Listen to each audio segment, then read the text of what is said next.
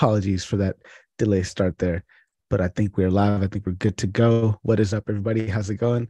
Appreciate you guys being here and joining me today.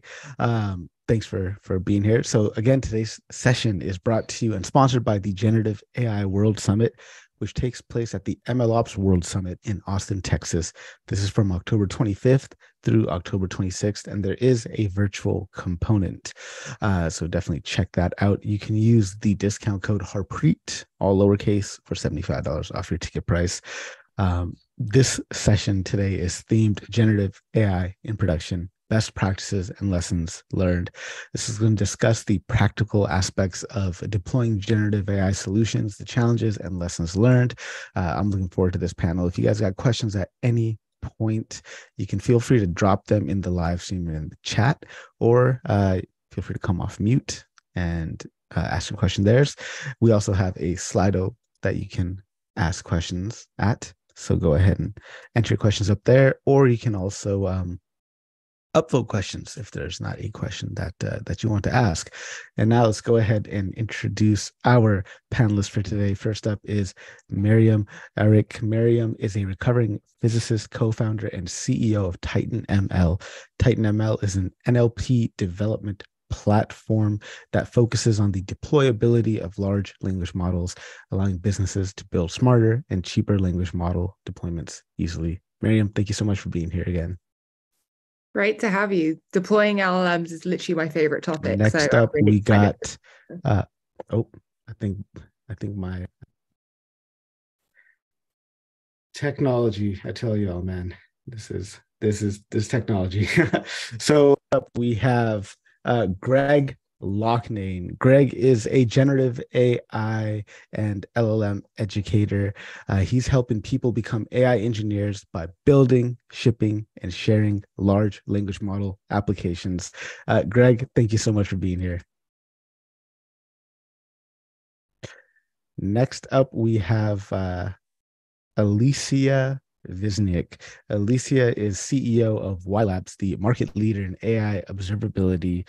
Uh, for AI teams at companies like Square and Glassdoor. Uh, they use WhyLabs uh, platform to ensure AI models from classification to LLMs are generating accurate, fair, and safe customer experiences. Uh, Alicia, thank you so much for being here. Appreciate you taking time to join us. Next up, we have Chris Alexiuk. Chris is uh, also known as the LLM wizard. Uh, he's an educator extraordinaire. He was uh, previously an instructor and curriculum developer at Fourth Brain and is currently a founding ML engineer at Ox and the CTO at AI Makerspace, where Greg is also the uh, the CEO. Uh, just a quick shout out for AI Makerspace. It's amazing. Uh, I went through one of their courses, uh, the LLM Ops course, and learned a ton. Um, so you know, shameless plug for them. Those guys are awesome, doing amazing work. Uh, next up, we got Hannes Hapke. He's the principal machine learning engineer at Digits. Uh, he's implemented deep learning systems from inception to production and has authored two books, Building ML Pipelines and NLP in uh, Action. Hannes, thank you so much for, for being here. Appreciate you joining us today. And finally, we've got uh, Ville Tuulos. He's the co founder and CEO of Outer Bounds, a human centric platform for data, ML, and AI projects. And this is based on uh, Metaflow, which is a open source project that he started while working at ML Infra and architecture at Netflix. My friends, uh, thank you all so much for being here. Appreciate you guys joining us. So let's uh, let's jump right into it. So um, let's start with with the the easiest question ever advice for somebody. Uh, so you know i wonder what advice you guys would give to someone who's looking to build uh, maybe a new generative ai powered product or feature or maybe they're trying to you know start an initiative to, to build this out in their organizations. Uh, what advice would you give to them? Um, you know what steps would would you advise someone take in order to understand the feasibility of of uh, of a project or maybe you know the how to think of this as an actual real world uh, application. So let's start off by going to uh, Ville, then go to Hans, Chris, and then Greg. So Ville, let's uh, hear from you.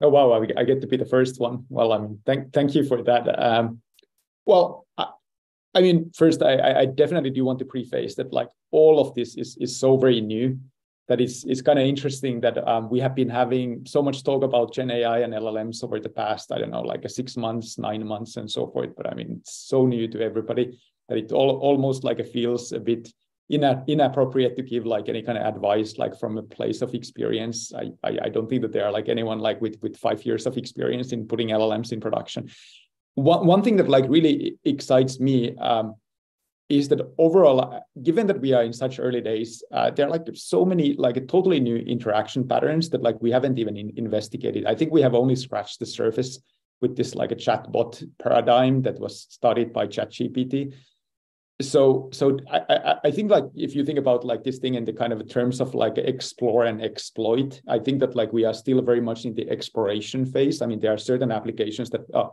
maybe a bit more in the exploit phase but i, I would definitely like to see like much more like a crazy explorations around like a gen ai and llms and like all kinds of the new interaction patterns like even like reimagining product experiences with all these new capabilities. So in, in, in that sense i mean like at this point i mean the, the advice is that like people people should like just like go crazy and like try out all kinds of things. And like of course one thing is that like instead of just like hitting the same apis i mean like even try to do things at home and like see how how far they can push the limits. So at least i, I find that very exciting yeah, thank you so much. I appreciate your, your input there. Let's go next to uh, to Hannes. And uh, by the way, any panelists, if you guys want to jump in at any point um, to, to you know kind of partake in the discussion, feel free to use the raise hand icon and I'll go ahead and call on you. Uh, let's go to Hans now.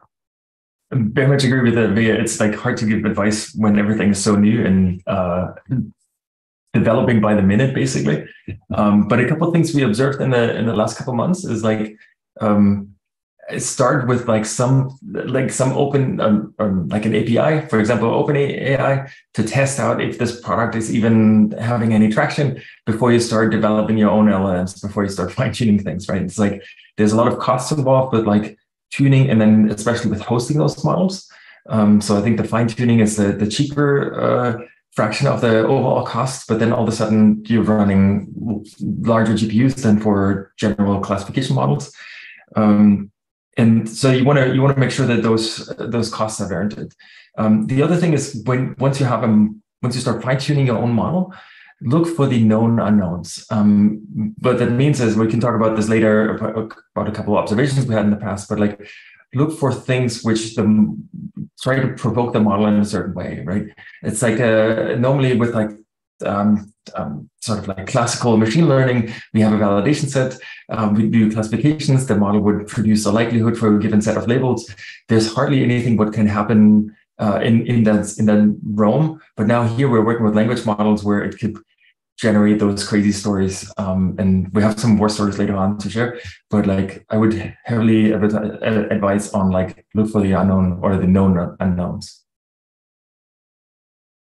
Thank you. Thank you so much. Uh, let's go now to uh, to to Chris. Um, definitely looking forward to, to hearing your advice. Go for it, Chris. Yeah, I mean, uh, I have some kind of maybe uh, anti-hype advice. So we got some some hype advice, and I I'd say like the the biggest thing that I could advise someone to do is getting into Gen AI is like really make sure you need Gen AI. Really make sure that this is a space that you need to be operating in and make sure that like as much as of your stack that you can uh, is is using tried and true methods that have worked for a very long time and we know add value we know how they add value.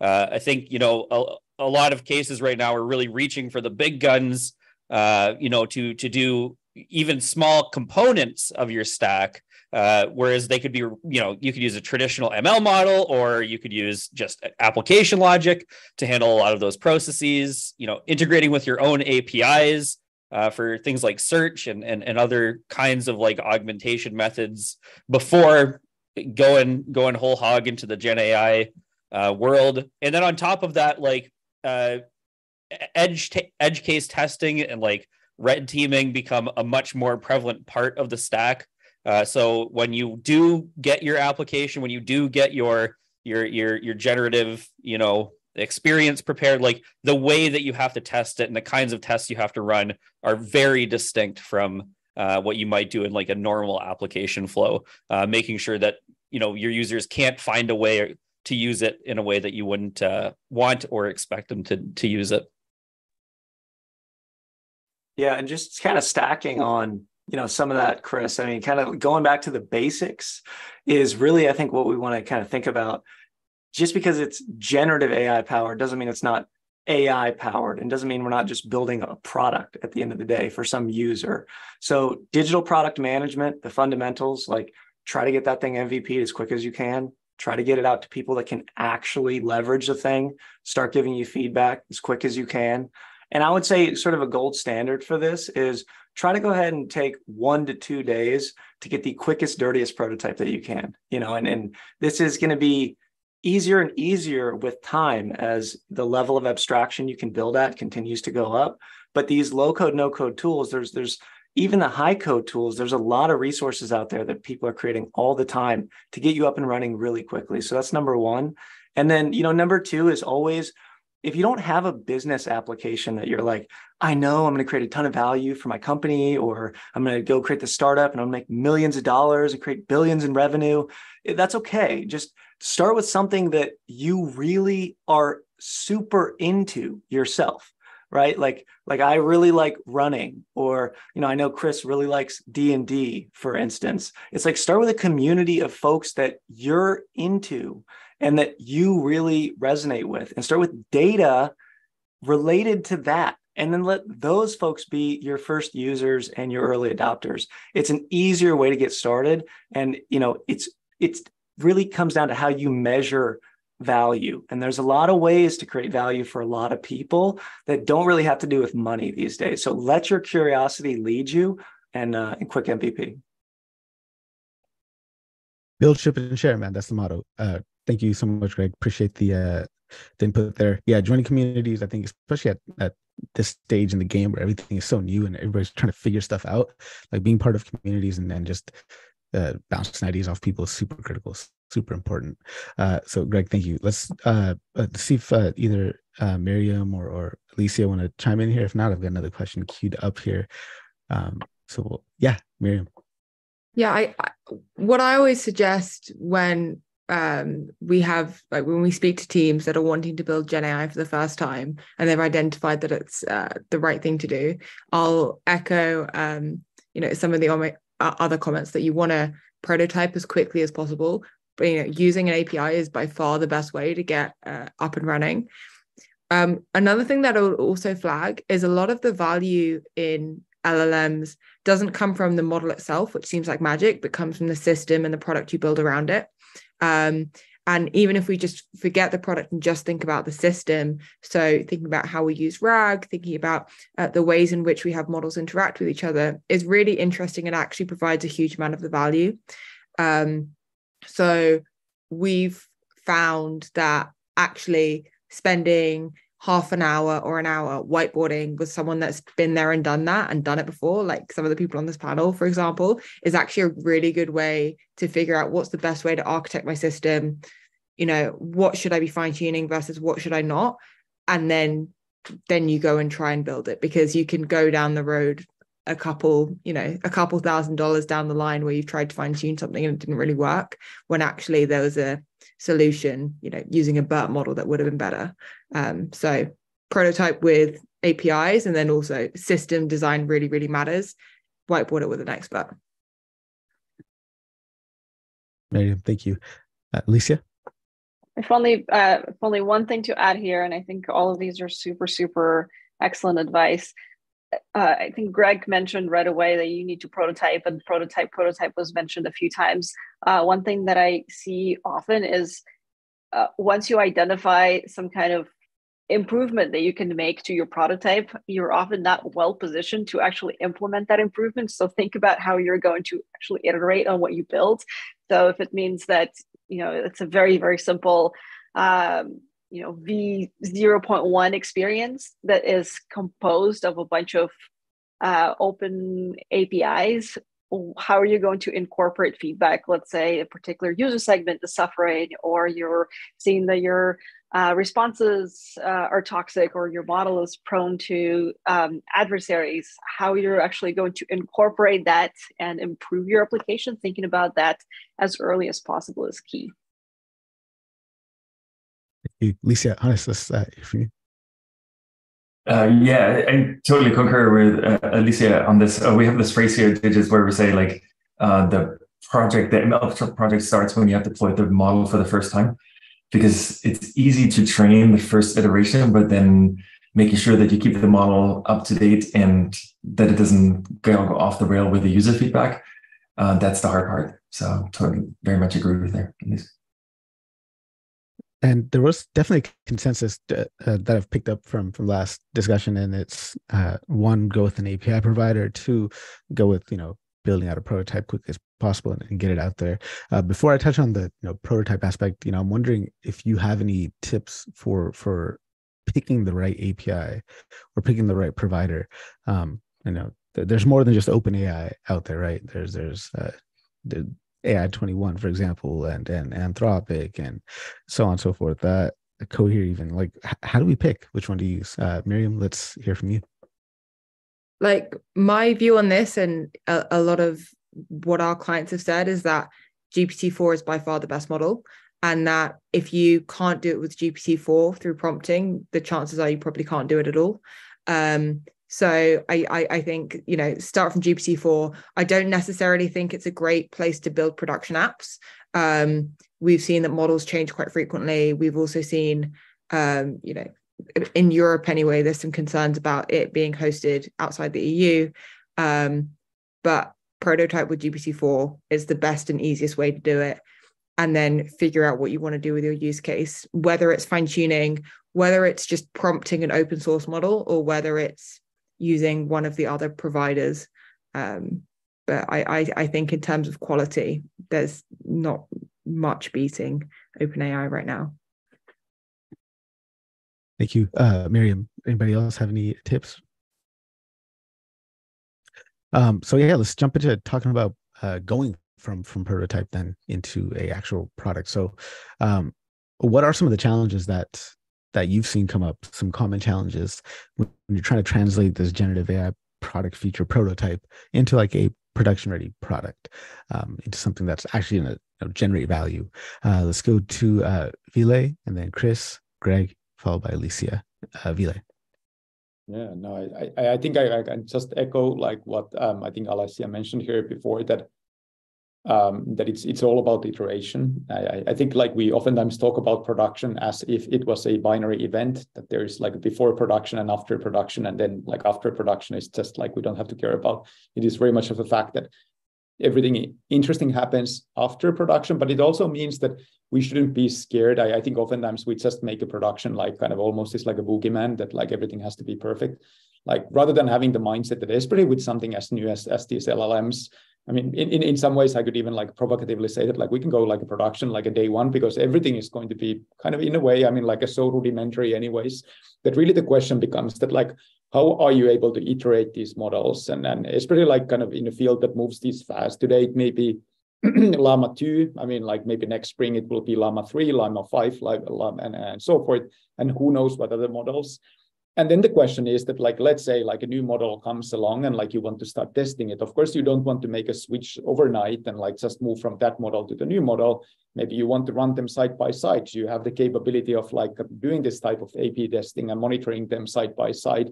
And, and then like how do you how do you deal with that situation? And also the other big one is that what do you do like when the results are not good enough? I mean like let's say you get too many hallucinations so maybe there's a class of prompts that like produce uh, absolutely like horrible answers systematically like like what is actually like the whole like a tool chain of actually going back and noticing those issues and fixing those issues and then like starting to even think that like maybe the, the foundation model that we are using is just like a fundamentally incapable of producing good answers to a class of questions. What do you do then? And like really kind of thinking of, of those type of like a human workflow questions is super important. Yeah thanks yeah. so much. Uh, yeah chris let's go for it definitely definitely echo what uh, what was just said i mean the the other things i think that are uh I would say like common challenges are especially because in prototyping you're probably using some kind of API, and then when you unleash it to the masses, uh, you know, there's a lot of very fun uh, rate limiting issues you can run into. There's a lot of very fun, uh, you know, latency issues you can run into, and you know, you you have to kind of think about that beforehand uh, a lot more than you would you would expect, especially with something like GPT four. Uh, and then on top of that, it's to to kind of back up the the point we just heard, like having the visibility or observability stack in place for the first time that you get it into the wild is so crucial so you can have good a, a good idea of how it's being used when it's being used why it's being used and you're able to track the or trace the whole interaction uh, that your users are going through because you know your users are going to try to use it in some way you didn't think of or you didn't expect. And being able to know that they're doing that quickly and find a way to address it is huge. And this speaks back to a point we heard in the previous question which is you know these systems are very modular. They're they're little uh, lego blocks that we're we're piping together you know not to to oversimplify but um being able to know which Lego block handles which part of the application uh, is is crucial. Knowing where it's failing is the the thing that I think people struggle most with when transitioning from that prototype stage to the production stage. And of course, uh, I maybe we should we should all just say this, but uh, iteration and improvement, constant iteration and improvement is uh, is necessary uh, with these systems. They don't behave in a deterministic way. So uh, they're going to do stuff we didn't expect, and we're going to have to fix it. Uh, and you got to be ready to do it. Thank you, Chris. Uh, actually, let's you know just speaking on the topic of observability. Uh, we have someone here that actually built an entire company on observability. So let's do this. Let's go to Alicia, followed by Greg, because uh, you know I, I want to get your perspectives on, uh, on observability here. Thank you. I was going to say Chris really made it easy for me, so I don't have to like preach observability. Um, I, you know, I, I think m- mostly people are uh, fairly bought into the idea of observability, but uh, Gen AI and LLMs overall make this ever harder. So, like, I've been at WhyLabs for four years, and I feel like we spent four years uh, maybe three out of those years convincing people that uh, what Chris said is a real deal and that you need observability before you even get to production. And now with LLMs, uh, everybody is bought in, but nobody knows what to measure. And uh, I hate to, well, you know, maybe I'll quote the good old uh, what gets measured gets managed quotes because there are all kinds of things that you can measure and you can go down all kinds of rabbit holes optimizing and improving. And i see some teams you know measure the easy things like oh what's our token usage and what's our latency? I mean who cares? Uh, may, maybe somebody cares but in the end of the day it's about user experience and whether whatever you're whatever is this thing that's powered by your wonderful favorite LLM uh, or some other uh, Gen AI experience is actually delivering value.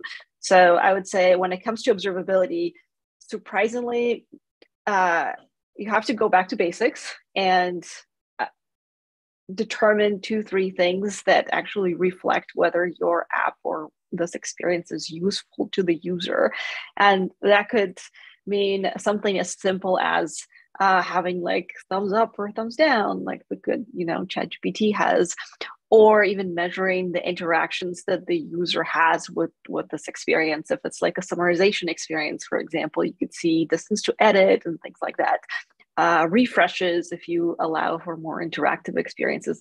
Measuring these things very early on. I mean, in, in your prototype, in your alpha, in your beta, uh, as soon as you can as super key because that indicates whether the money that you're spending on actually building this experience uh, is useful to the person and then uh, Chris also said that the stack tends to be complicated and these systems are very modular. So actually measuring some amount of metrics between kind of the translation points in your stack is also key because if you know you're building a bunch of post processing on your raw llm response all kinds of things can go wrong and if you are for example fine tuning and distilling things with your own data if you're feeding it bad quality data again um, you would be surprised but you would get very bad uh, outcomes from that so instrumenting kind of across the stack because it's so modular is also key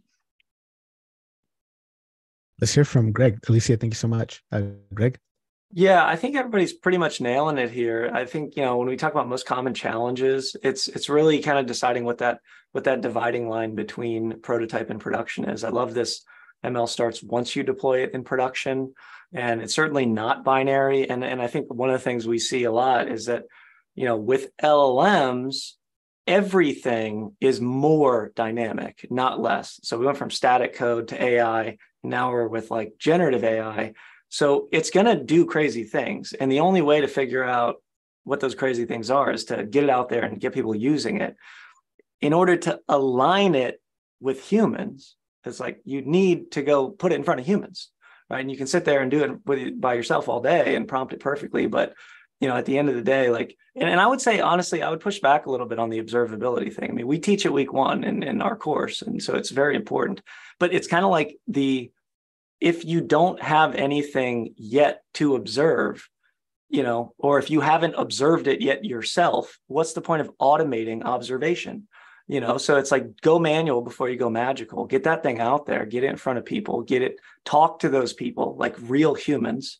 And then in make sure it's instrumented. Make sure you know how to do that. But you know if you do it yourself you'll figure out what you should be visible to what you should be observing and you know i think that's that's going to be part of the key now if you're on the other hand in some ridiculously highly regulated environment, like some of our customers are that we deal with, is like, yes, use OpenAI, get it up and running, learn it, use LangChain, get it up and running, learn it. It's like, but a lot of these people come in and they say, well, you know, I'm in this ridiculously highly regulated industry, or I'm in the federal government, and there's just no way I'm ever going to be able to use a cloud computing platform of any kind whatsoever. It's like, okay, well, you know, then don't do it with your data first.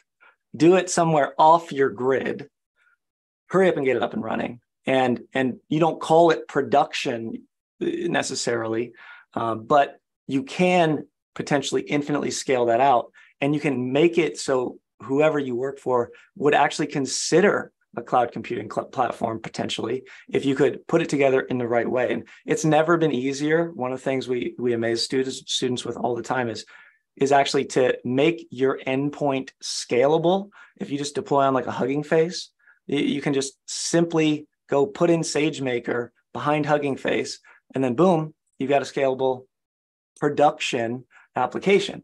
And if you don't have a stack already, that's what you should be doing. If you're going zero to one, like just do that. And it's not this big thing. So everybody wants to make it a big thing, but uh, I think it's it's it's not. And it, you should be able to go quickly to cross that dividing line and start iterating again, as everyone is saying.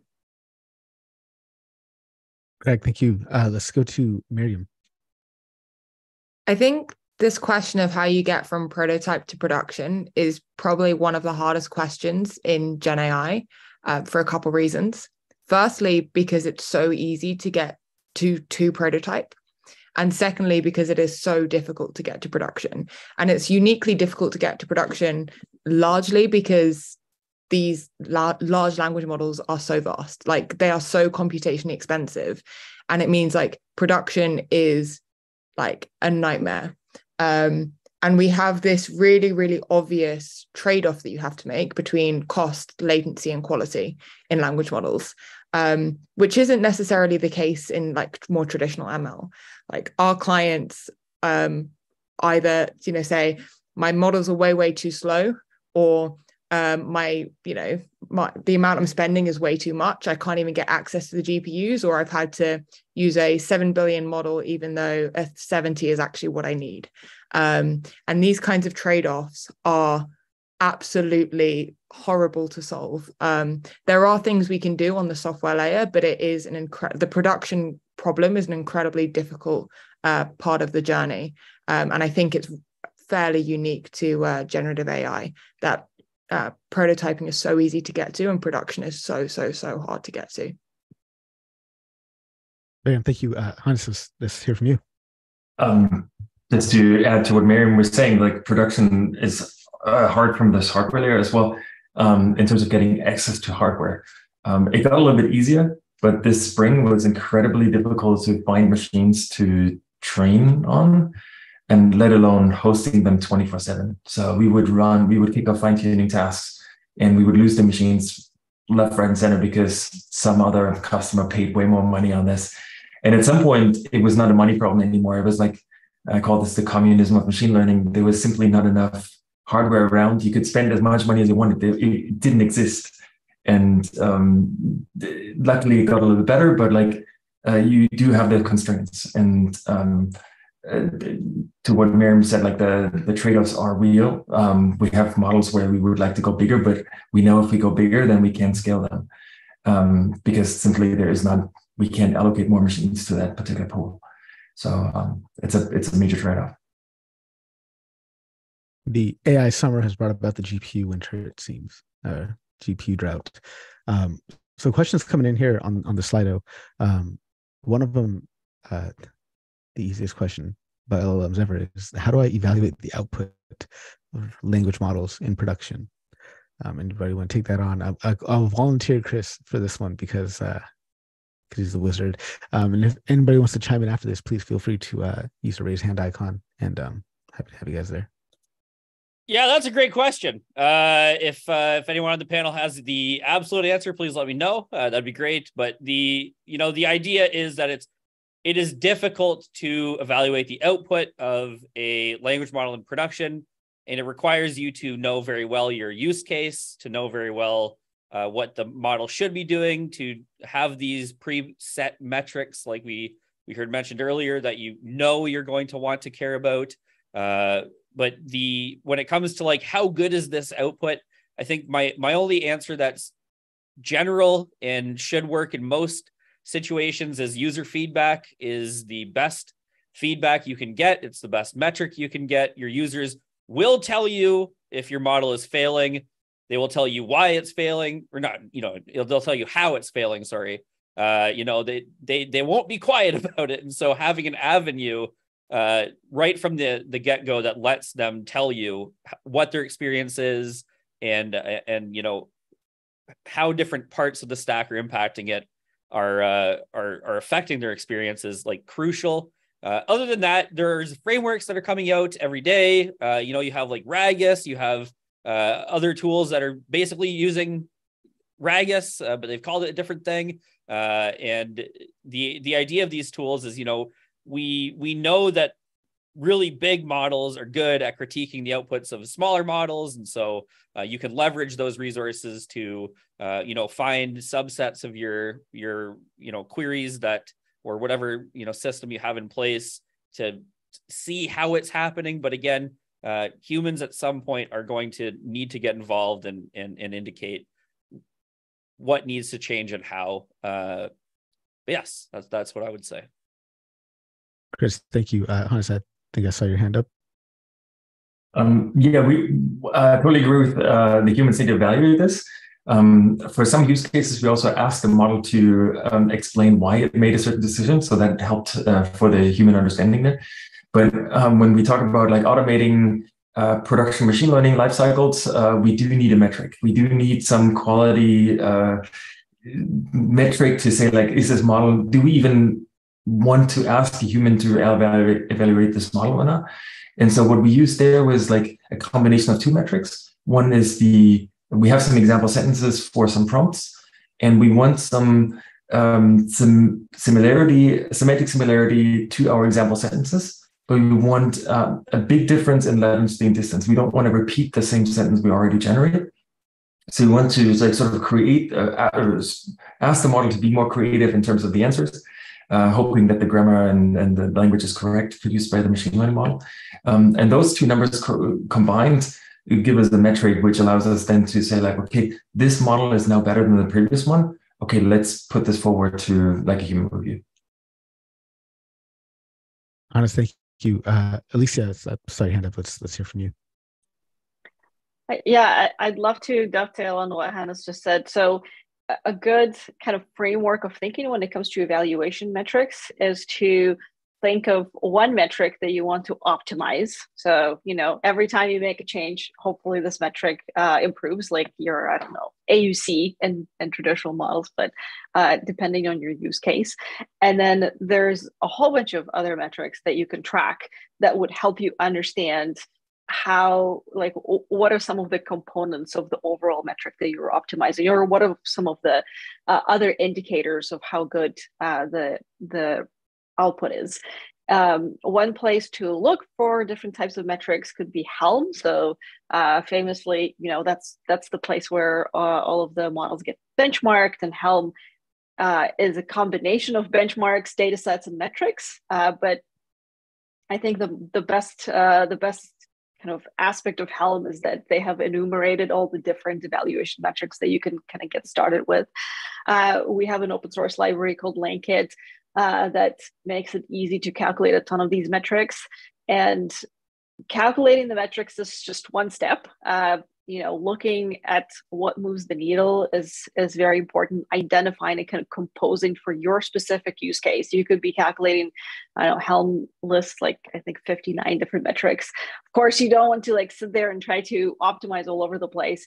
Uh, pick one that you want to optimize. Pick a handful that are important to you. And these could be as simple as like what's the toxicity of my responses right? Or like i don't know if you're building a chatbot for um, like a healthcare website you don't want this chatbot to be giving medical advice like you be uh, you should be measuring things uh, around topics and uh, response similarity to like for topics that are not uh, that are not approved and things like that so pick pick the things that would drive uh, the experience and you'd want to measure and then pick one thing that you want to optimize Alessya, thank you. Uh, another question that just came into the chat here. Uh, and it's uh, in case if we are fine tuning, not not RAG our model, uh, how often do we retrain our models?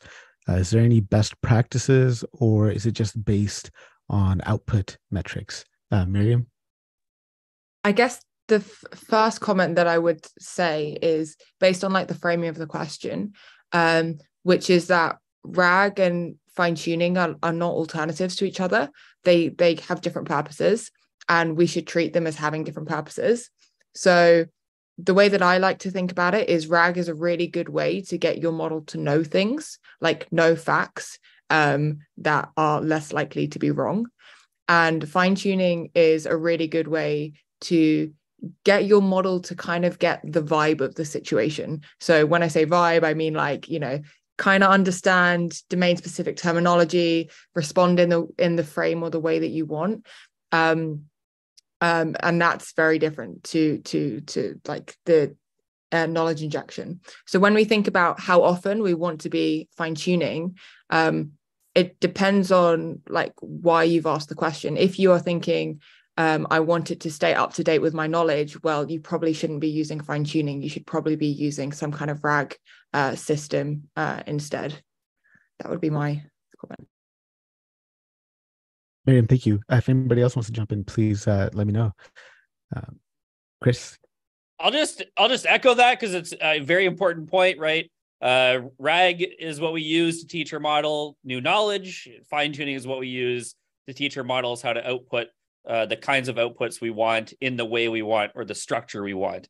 Um, and when it comes to when do I fine tune, when do I retrain, when do I all of these things, it, you really have to have that evaluation pipeline set up for that. You you have to know what part of your model is failing or what part of your system is failing. For instance, if you have like uh, you know if you're if you're able to measure metrics that are indicating to you I'm getting the right context but my model's not giving me the correct kinds of responses, right? That's a good way for us to know, okay, at that point, I should be thinking about fine tuning my model, right? But if we know that we're getting the wrong contexts and our you know our outputs are are also bad let's try to fix the easy problem first right instead of fine tuning let's try to get that context up to snuff and then uh, see what we're what we're working with after that but i think it is uh, it's just a point well worth echoing that like you know these systems are very powerful and the i think someone said this earlier already but the the r part of rag right the retrieval uh, part of rag is the uh, the highest leverage part of that system. Most llms are quote unquote smart enough to to nail the right answer with the right context. And so you know let's spend those engineering hours improving the the system we know is going to provide value as opposed to burning cash and and and maybe getting the results uh, we want Chris, thank you. Let's go to uh, Ville. Yeah, no, I, I think that those comments uh, very much make sense. Maybe like one additional point that I want to make is that, of course, the question kind of reminds me of the questions that people were asking about traditional ML about seven years ago. Seven years ago, I mean, people were that like kind of a, how often do I have to retrain my fraud detection model, or how often I have to retrain my sentiment classifier? and I, I think like what's kind of maybe baked into that question is that like because fine tuning is so expensive and so hard, I hope I don't have to do it too often. But, but I mean, of course, like an interesting question is that let's assume that over time fine tuning will become cheaper, like maybe even to the point that it doesn't have to be so painful. Then the question becomes that like purely putting the kind of like technical and infrastructure questions aside, how often would you do it? Like if you didn't have any of these technical limitations. And uh, probably the answer is not all the time. I mean, all the discussion still about the RAG and, and so forth applies. But especially like I think in the product experience point of view, uh, like, yeah, I mean, in many cases, it might be that like, especially like if your data distribution, the prompt distribution is changing quite rapidly. Yes, I mean, like you, you should be optimally like kind of doing it as often as needed. But then, of course, I mean, there are these technical and cost considerations today. But I mean, especially like when building applications that may be lasting like kind of for years to come, I mean, maybe it might be useful to take that mindset that like the situation may, might may not be as bad as it's today, like for for years to come. Ville, thank you. Uh, question coming in here. Um, uh, I'll shoot this over to Chris because I think it's based on what you had said uh, about the R and retrieval, and it's um, uh, how to how to optimize the retrieval system. How do i optimize the retrieval system? Yeah that's another million dollar question. Uh you know but in without being uh you know kind of cheeky about it or whatever like it really depends on your data. It depends on what kinds of things you're retrieving. It depends on what you want to do with those retrieved whatever's that you're you're getting back. Uh you know when it comes to i think this is you know we, we were at a, a an event earlier today talking to data scientists and like what is the data scientist's role in today's uh in today's gen ai world well understanding the data that you need to do retrieval on understanding what to do with that data how to process it chunk it how to you know what kind of retrieval strategies you should use uh, should you use like these more complicated retrieval stat- strategies where we're we're actually looking at summarizations of a big document and, and then going from there? Um, you know, this is what the data scientist is going to be doing, and having access to those those kind of platforms that let us see how people are using our application is going to point us in a very good direction in terms of you know what what is the knowledge the user is actually looking for here? And how do we get that knowledge to our context window as fast and efficiently as possible? Um, so there are a lot of different optimizations that you can you can do. I look at people like uh, you know uh, LlamaIndex. They're doing webinars every third day on a on a cool new retrieval strategy uh, you know that you can you can take the guts of and implement in whatever tool stack you use. Uh, but ultimately it comes down to really understanding what's the structure of your data what kinds of data do you have and what kinds of context do you need to answer users queries. And uh, that's a, a question that you get better at answering with every user query. Uh, and so it's uh, just to add another you know check mark to observability is important in gen ai yes thank you so much. Uh, let's go to the next question here about um, you know we, we talked about different tools and, and things like that observe or you know observability being one of those things that we need to have but are there any other specific tools platforms or you know infrastructure components that you found to be indispensable uh, when you're moving from prototype to production um, and especially again in you know with respect to generative ai powered products or, or features uh, let's go to uh, let's go to uh, Alessya then we'll go to uh, chris and then Ville.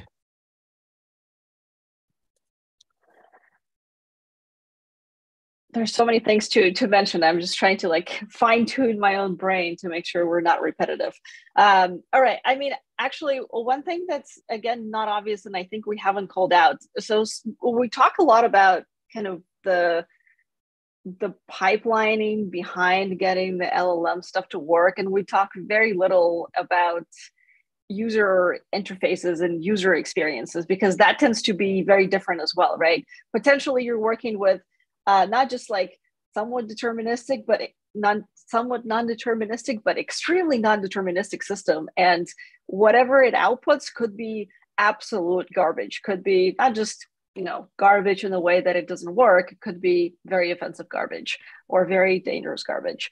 Uh, so building thinking about your user experience and how the user is going to interact and how potentially to protect your user from this garbage uh, if if there is garbage uh, i think is key when you're going from prototype to production because uh, uh, effectively as as Ville just pointed out we're the questions that we get about problems with LLMs are essentially the same questions we've been trying to overcome for the past 10 years. Like, how often do you train? How do you go from prototype to production? Uh, and here especially with with llms it's so fast. You you get to like your production where you have some kind of api and all of a sudden it's behind some web app. We have all the tools to make it possible. You get there so fast that you forget uh, about designing the actual experience to allow the user to take advantage of this capability.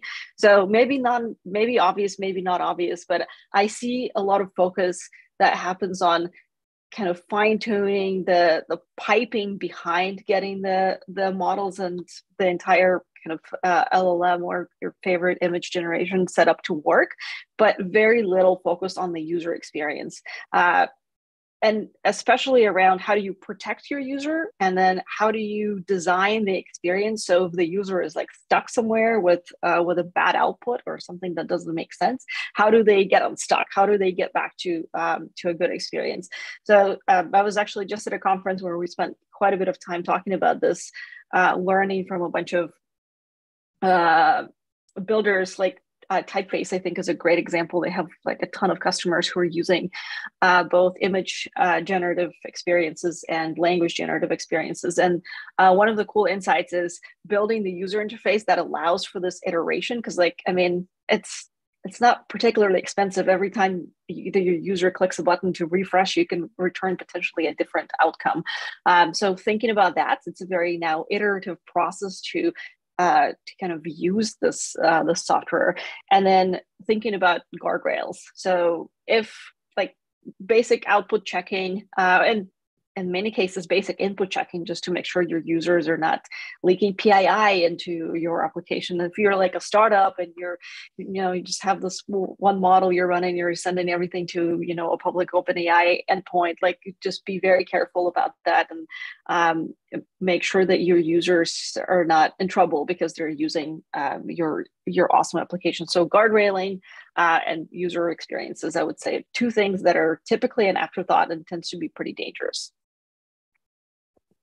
Lisa, thank you so much. Um, let's go to Chris, uh, then Ville, then uh, I think Meryem wanted to jump in as well. Um, Chris, let's go to you first. Yeah, uh, I think like versioning software, versioning tools, you can't do these things without them. I don't just mean for like uh, code, uh, but like your data, your indices, right? Like if you're building these RAG applications, being able to version those indexes, be, being able to understand, you know, what what changes, how it changes, uh, these kinds of platforms are absolutely crucial. Uh, without them, we're you know we're we're fighting blind. Uh, you, don't want to do that in uh, in today's market.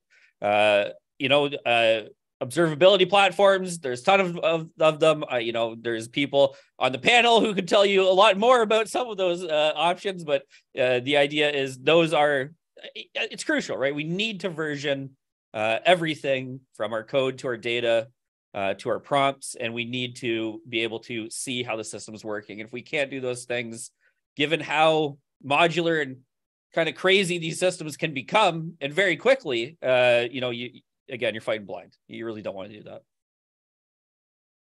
Chris, thank you. Let's go to uh, Ville, then then Meryem, then you know, if if if Hannes, Greg, or or uh, uh, want to jump in, please please do.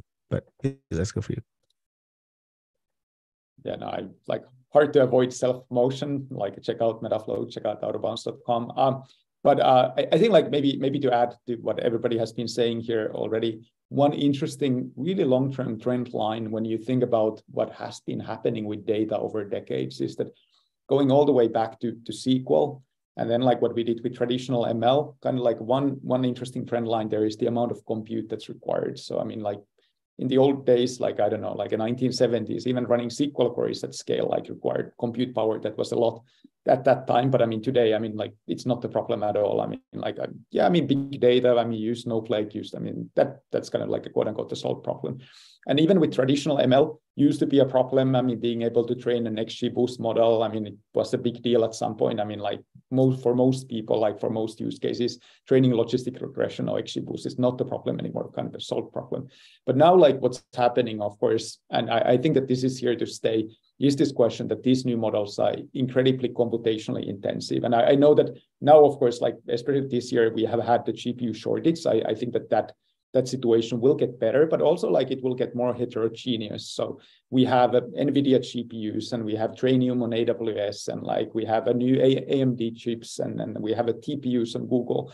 And, and one interesting thing to consider is that given that all these models will be computationally quite demanding for, for years to come, who knows how long, is that like how do we navigate this space of, of, of like having these different compute resources and compute providers in different places. And I think that that's an interesting challenge that we quite didn't have before because it used to be so that like maybe we were all in on AWS and it was just fine. But now with all the GPU stuff happening and so forth, I mean, maybe that is not fine anymore. And like maybe even you need like that, like a GPU, GPU box under your desk again. And that actually like it complicates the software stack quite a bit as well. I couldn't agree more cool. with with that last comment. Um, the I think we're going to see a lot of people using different software. Uh, sorry, sorry, uh, a lot of different GPUs and a lot of different hardware for their applications. Um, like this NVIDIA reliance just isn't going to be able to work considering the demand. That's why when we built what we built, we built it in a hardware agnostic way. Um, a lot of the optimization and deployment platforms like only work for NVIDIA or might only work for Intel. And we thought it was really important that actually, you know, our customers have a bank of Intel CPUs, but then also have a bank of AMD GPUs, and then also have a bank of NVIDIA. And you kind of want that that unified deployment framework. So they always get that best deployment every single time. So I, I completely agree that it massively complicates that that stack. Um, and I guess like uh, just a, a little bit of self promotion, like we think that one of the biggest issues facing this deployment problem is how computationally expensive these models are. Um, and there are a huge number of things you can do from a software point of view to make them much less computationally expensive and mean that you use your resources better. Um, and that's exactly why we built uh, Titan Takeoff, um, so that every single ML engineer can get that every single time because it's a full team's job within OpenAI. Um, but actually, most businesses, uh, you know, don't have the ML engineers or don't have the resources to be able to get those really, really excellent deployments. And Greg, if you got any, uh, any perspective to share here, I'd love to hear your um, your perspective on on you know tools, platforms, or or infrastructure that you find to be indispensable when you know going from prototype to production. Yeah, I mean, I think you know, uh, my my perspective is more from the from the learner and the zero to one kind of startup founder perspective. And when you're sitting there, you know, you're just amazed at the tools that are coming out. SageMaker, Bedrock, you know, you can just kind of one click deploy these foundation models to production if you know what you want. Um, now you can also one click your way into spending a couple thousand dollars overnight. So don't do that. But you know, I think the, the tools are there it's it's more like we need more imagination and creativity on the what what product are you building one click deployment to production is is everywhere and it's becoming more and more ubiquitous so you know that, that's my two cents to add to this uh, this discussion. That's a bit beyond my particular depth. Greg thank you so much. Uh, i know we're running up on time here. Uh, so many great great questions uh, that i've got lined up and a couple more uh, left here. Um, you know, if you guys wouldn't mind hanging back for a minute or so, I think this this question that came in uh, from the audience, I think is super critical. Um, and it, it's um, if you got to go, all good. But uh, the question here is, uh, what what are the parts of a evaluation pipeline? Um, yeah, that that's uh, a good good question. Anybody want to take a stab at that? Uh, no, doesn't doesn't look like it. Uh, well, Lisa, yeah, let's I'll hear go. from you. I'll go. Yeah. Sure. Parts. Parts. Uh, first, uh, what are you measuring? Uh, second, essentially, what's what's going to define your ground truth? So again, if we're actually if we're just like look back at Helm for a second, which is probably industry agreed upon st- standard as far as the evaluation, there are two pieces to it. One is data sets. Um, and it's nice to have the Helm data sets, but they're super academic and all of the models that you care about, they're already measured. So you don't need to, you know, use Helm data sets to measure your models. You just can look at the table that they already measured. So think about the data sets. Uh, what's your data set? What is your, how, how do you represent your use case in the data set? And it could be as simple as, you know, what are my key prompts?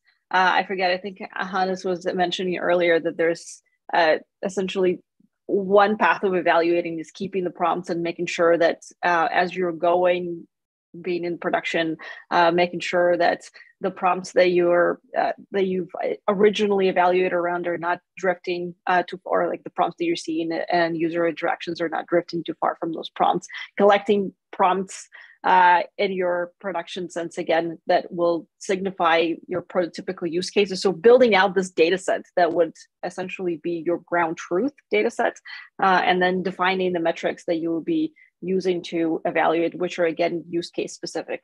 Uh, if you're working on something very simple like summarization uh, experience, then you know you you get your ROUGE and your BLEU, and you potentially have uh, lots of examples from um, kind of the fine tuning of uh, prompts that you use prompts and responses. But if you're working on something uh, very obscure, then start with designing your metrics uh, and definitely invest into building that data set. Lisa, thank you so much. Uh, yeah, um, was there somebody that want to jump in? There's oh, all right. Well, thank you so much for for joining. Uh, be sure to check out um, you know the the the tools here that uh, people are representing. Uh, Alessya's got a Langkit here. Um, check them out on WhyLabs, uh, GitHub, WhyLabs, Langkit. Check them out. Uh, and then also Meryem has the Takeoff uh, server, um, which is the community version is available. I think that's awesome. Check that out. And then um, Outerbounds as well. Um, is there a specific repository we should check out at uh, for uh, for Outer Bounds?